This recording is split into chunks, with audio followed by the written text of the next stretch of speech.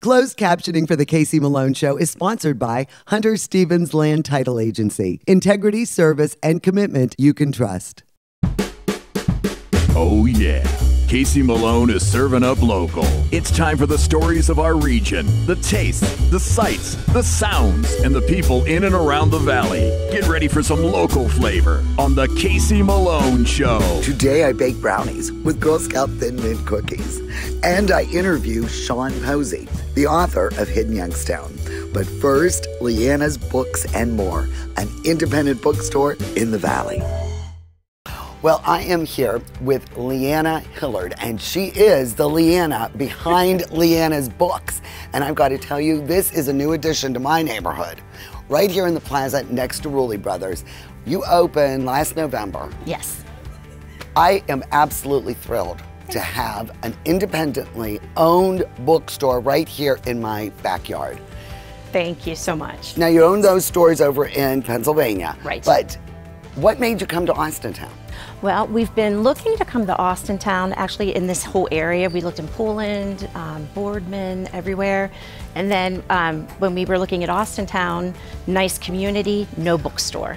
So we thought, there's where we want to go. And the Right in the middle of the space is huge. Yes. You cannot believe the prices Thank and you. the selection. How did you get into the book business? When it started um, was about a, almost 11 years ago. Um, I got laid off from my job. I was a sales rep, and um, Vince worked for Ollie's Bargain Outlet. And he said, Leanna, why don't you sell some books at the flea market? Do something fun. And I said, Well, I love kids' books. Let's do it. So that's how it started. We bought a pallet of children's books. We literally sorted them in my grandfather's barn. Oh And then my gosh. every Wednesday and Sunday, I Four Seasons Flea, flea market. in Yeah, right that's there. It. Four Seasons. Flea Market's where it started. Um, and then we went. Um, then it started from there. Then we went to uh, Shenango Valley Mall. Saw that the old Borders was um, there was people selling books and all sorts of trinkety things for Christmas. And I said to Vince, I said, honey, what, how did we not know this? So we, long story short, we went ahead, and bought the fixtures, we got a lease, and then that was our first store. Our anniversary, um, 10 years, will be this March. Congratulations. That is. Thank you so awesome. much. I mean, I just, that is such a great story. And then you're Yeah. Grove City, Yep, at the Grove City Outlets. And then now, And then we just opened here. This is our big one. This is a 10,000 square foot store. So, now everything is always discounted. correct. Let's go over here like the classics. But yeah, no, every book is. Um, and how we do our price structure for the Leannas is every book is discounted every day. And if it's $24.99 and under, Okay. automatically you get 10% off. If it's $24.99 and higher, automatically 20% off. And then we do our New York Times bestsellers. We do those every week. They're over here every week. Every week we go through. Um, one of the staff they'll go through and check out the New York Times bestsellers. And then what we do is we do the top seven hardcover in nonfiction and the top um, seven in nonfiction or fiction and, and nonfiction. Um, same thing on each side. And then the hardcovers, um, while they're the New York Times bestseller in the store on the shelf, they're automatically 30% off. Um, on our online, we do have a website, um, leannasbooks.com. On our website, every book is 20% off. So you can order it online and then choose Any which book. any book. Any There's like 10 million books you can Okay. choose from. Right. So then what you do is you order it online and then there's a little spot and you can pick which store do you want to pick it up from. So say you pick Austintown, okay? Then you pay for your book and you close out and then what happens that book will come into here to the store as soon as we click you know scan it in your name flags and then we call you or we email you and say hey casey your book is in you can come anytime and pick it up it's here it sits behind our desk and then you just come pick it up What is that? What, what is the slogan for that? it's uh, local is a click away. local is a click away. That's right. But I mean, Nicholas Sparks. Well- I mean, you've got a lot of like really hot authors. Yes, we do. I, I, I was so excited. We just got the Nicholas Sparks in about a month ago, first time ever. See me, Yeah. the best of me, the There's some good ones. I mean, Yeah. gosh, this guy must write like 24/7. But yeah, so we buy them by the pallet. And then um, what happens is they, they get returned to the publisher. The publisher can't sell it as new, even though they're not tainted. They've never been cracked. Yeah. But the publisher can't sell them to a, like a new to a store as a new book because they're considered used, Used, in the book world. So crazy. The, middle guy, what he'll do is he buys them by the huge pallet loads from the publishers, pennies on the dollar. Then we buy them for a few more pennies on the dollar from them by the pallet, and then that's how we can mark them at $5.99. Here is one of a great section too. You have all of, you know, all these local books about our region. Mm-hmm. And I can't believe this selection. I mean, with Pittsburgh and Western Pennsylvania and the Mahoning Valley and Warren, I mean, They're great, aren't they? and do these sell? I mean, these are popular, aren't they? They're um, yes. Um, Haunted Cleveland, you would love this book, Bill. Haunted Put in Bay. I mean, I didn't even know these books existed. No. So this is our warehouse. So this is where all of the bargain books you see, the 599ers, Yes. they all come into here first. And our staff, they work very hard and do diligent, um, a lot of work. They check them all in, and then um, then we'll put them in here, and then we go ahead and feed the other stores, the Leanna's stores, and then we put them at 5.99. But while they're here, every book on this side, every book, no matter what section, 70% off every day. And when you are interviewing people, do you um, make sure that they are avid readers and really interested in, you know, books? Uh, you know what? They just seem to. We had um we had like an open interview day, and we had a really nice turnout. Thank God. you know, we did. Everybody was nice, and they were all book lovers. I mean, they were all everybody. Um, were book lovers. I mean, yeah, you need to kind of like books, you know what I mean. But yeah. but it was great because everybody um, that came in that day just loved them, and we actually hired almost everybody that day um, because everybody seemed so nice and and everybody works really hard. And you know, when it's slow, it's great. You can read a book, but when it's busy, oh boy, God bless their hearts. They work very hard.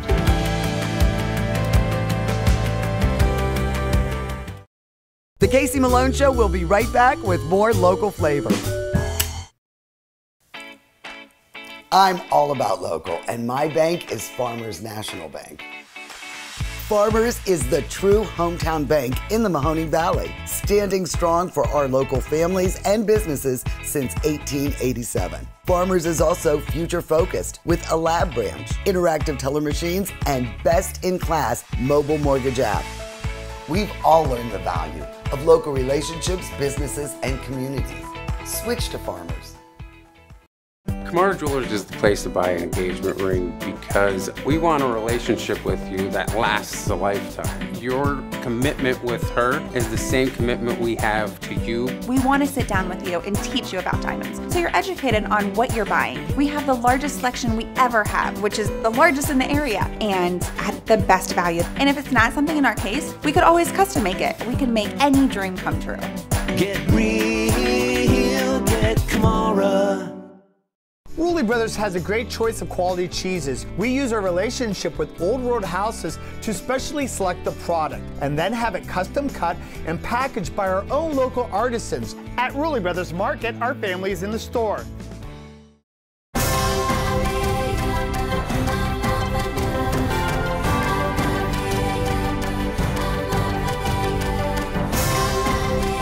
Join the Island Purple Cat family. Employment opportunities are available. Given is living. Join the Isle and Purple Cat family. Employment opportunities are available at $13 an hour. Given is living.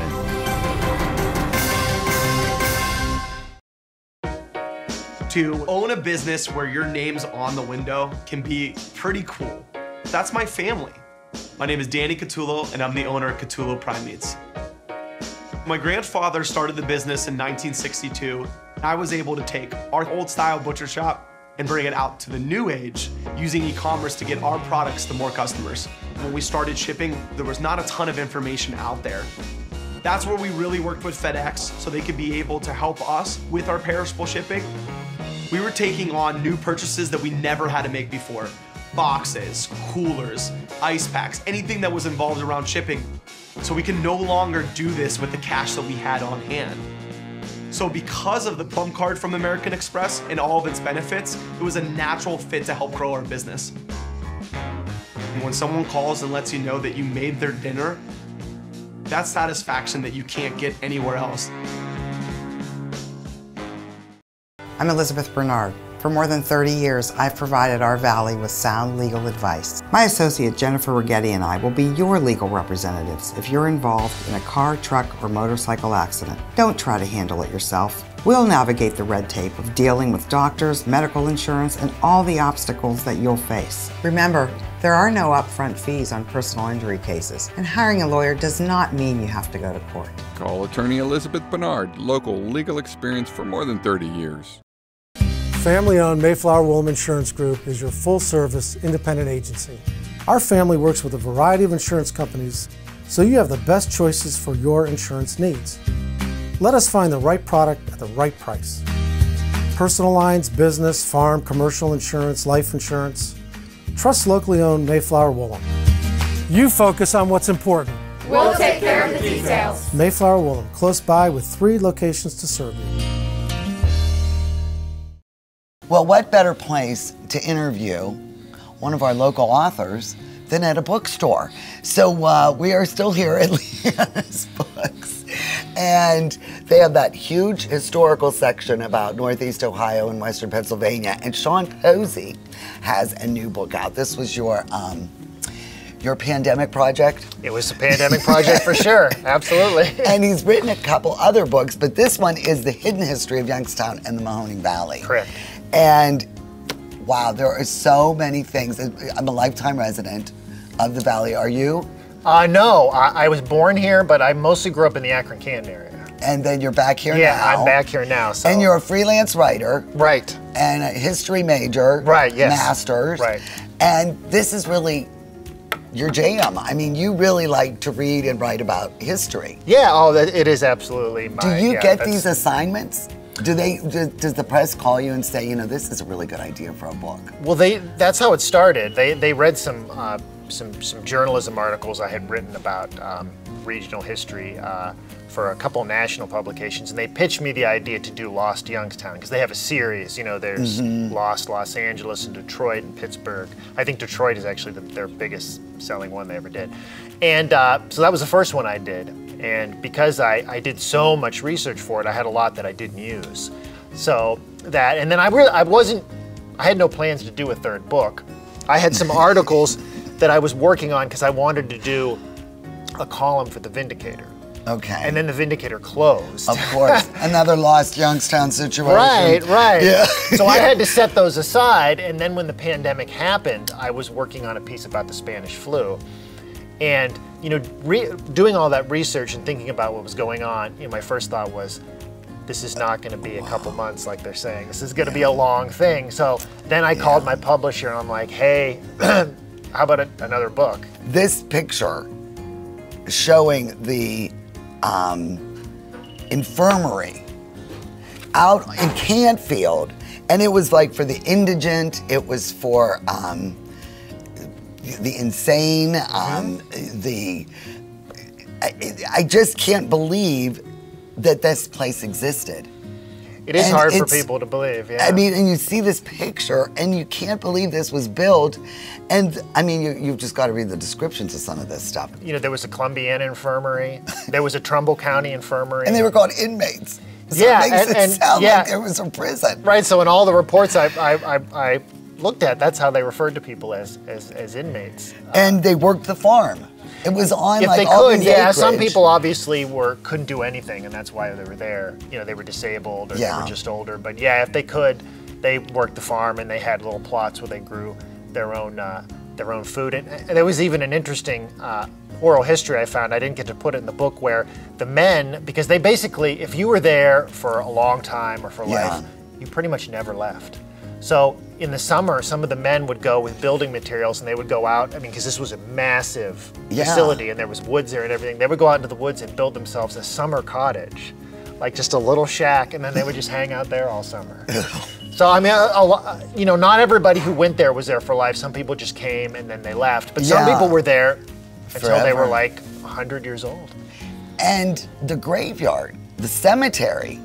So there are still, you found these. There's pictures Yeah. in here of you finding like, and the markers just have numbers. Yeah. So then did you, were you able to find the record book? Yes.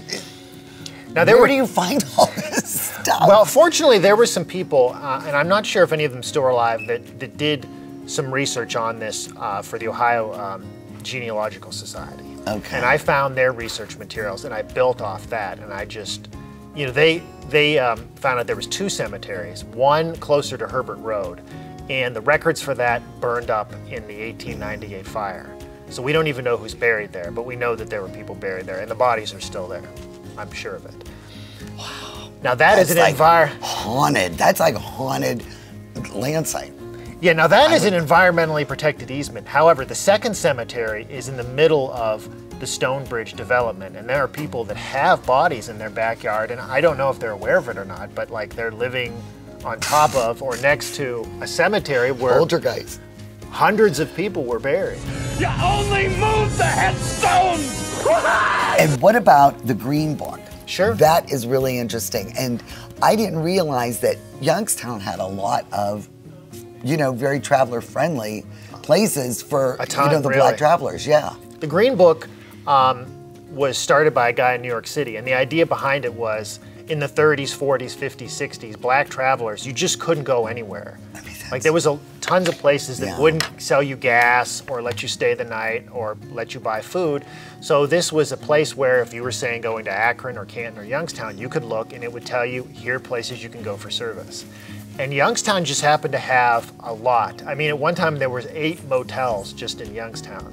yeah. So if you happened to be going through there, it, it was it was perfect because you know they had your lodging, they had places you could go food, even like a bar, like Taylor's where you go if you needed I that. mean, really, I mean, it, and it was extensive. When I read that, I couldn't, you know, you don't think about that stuff. Sure.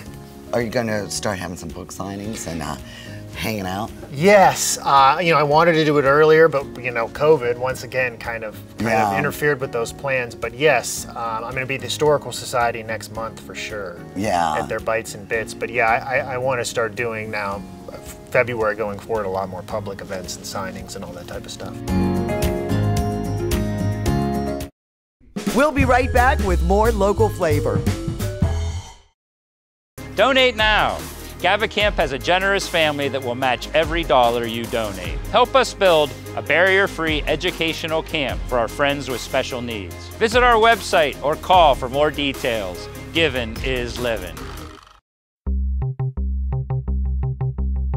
I am here with Rude the Dude at the Magic Tree Pub and Eatery. What is happening? Nothing. You know, we just finished off last year strong with all of our parties in the banquet room.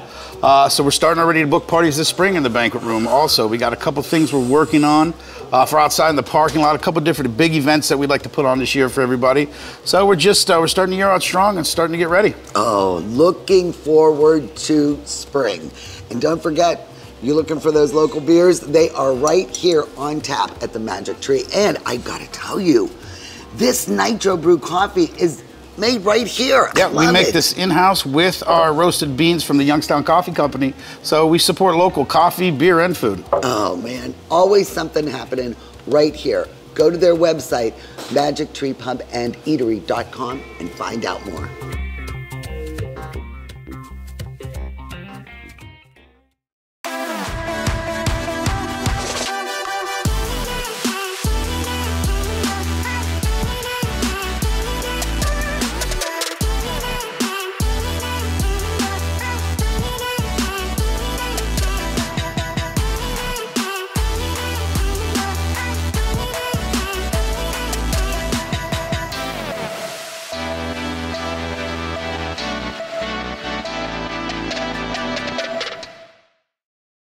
My basement was dreadful. Cracked concrete, chipped tiles, it was my dumping ground. Carpet, vinyl, wood don't last. Now I have Pebblestone, the best basement floor covering. It has transformed my basement and expanded my family's living space. It's easy to clean, withstands flooding, and will never need replaced. You will love your basement. Pebblestone, the best flooring system. Call today to save 60% off your new Pebblestone floor for a limited time only.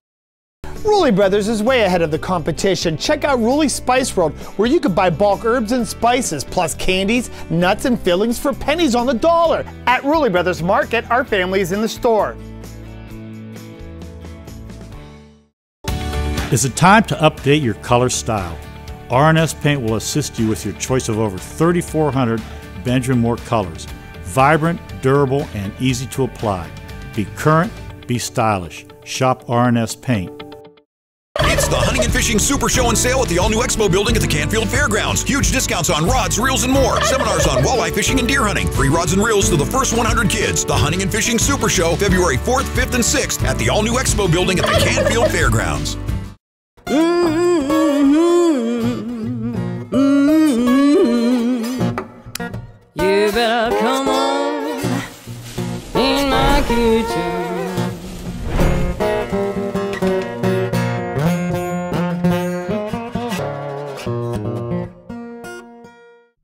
Today, this is going to be a really quick and a really easy cooking segment.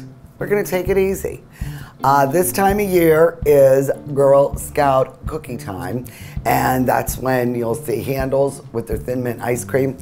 And I thought, well, why should they have all the fun? I love Thin Mints, and my niece Cecilia is a Girl Scout, and she called and asked us to buy some of her cookies. So I did, and when I got these, I thought, you know what? I'm going to make brownies with Thin Mint bits in them. Instead of like chocolate chips to make them fudgier, I threw in crushed Thin Mints, and the result was excellent. And I'm just using a store-bought pre-boxed brownie mix. And instead of water, I add coffee and it makes it that much richer. And boy, are they delicious. So I'm gonna share that recipe with you right now. For this recipe, you'll need one box of your favorite brownie mix, 18 to 20 ounces. Follow the boxed instructions, and where they ask for water, substitute it with coffee. You'll also need one sleeve, that's 16 crushed Thin Mint cookies, and then two crushed Thin Mint cookies for garnish.